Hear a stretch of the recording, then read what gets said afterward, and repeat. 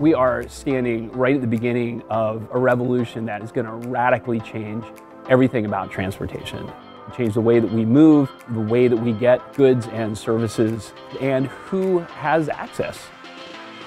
This is a space on campus where students can take the ideas that they have in their head that can shape the future of transportation and turn those ideas into reality by actually putting them to work on some of our test vehicles.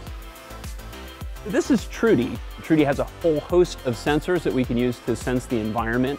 And the idea is to understand how automated vehicles can interact safely with pedestrians and other road users. This is Shelley. Shelley is a self-driving race car.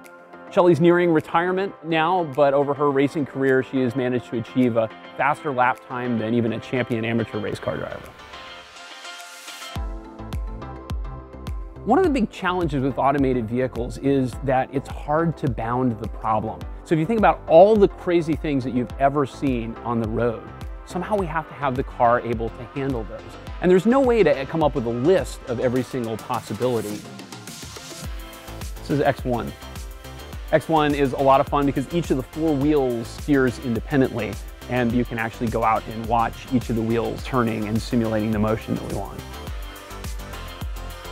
This is Sundae, the latest edition of solar cars built by the Stanford Solar Car Project. As you may be able to tell, it's the smaller members of the team who actually do the driving. Underscoring all of our research is really the question of how do we make cars safer? So these are simulator stations that can be used to test out some preliminary ideas.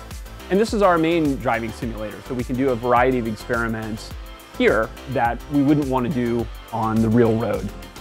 Done properly, this is going to be a huge revolution. I think it's going to change every industry in the next 10 to 20 years, I think, if we have the will to do that.